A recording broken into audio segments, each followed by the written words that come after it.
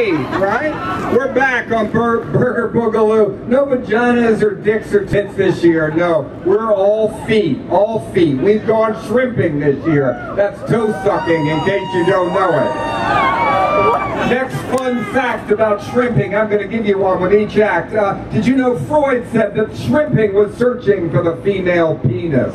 Well, isn't that punk? We're all tonight searching for the female penis and the male vagina. Right?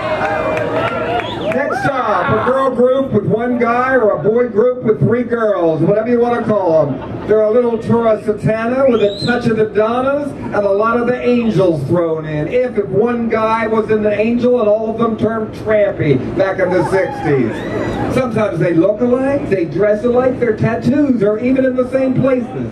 I read they like to appear in obscure cities. Well, they should feel at home here because tonight we're on another planet. Hair hoppers, whores, drapes, and psychobillies, please welcome Baby Shakes.